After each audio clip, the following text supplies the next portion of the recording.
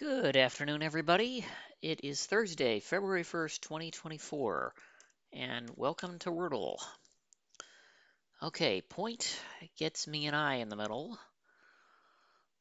Hmm. I need totally different letters. Let's try grime. Oh boy. um, well, a like. Maybe that gets me some even more letters. Though it's got has to be alive at this point. And it is all green today.